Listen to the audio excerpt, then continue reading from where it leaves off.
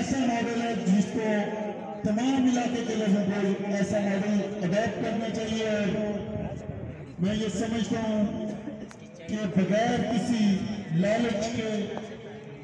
खिदमत का जो सिलसिला है, ये जारी रखे हुए हुआ है हयल फला वेलफेयर सोसाइटी की टीम लंबा छक्का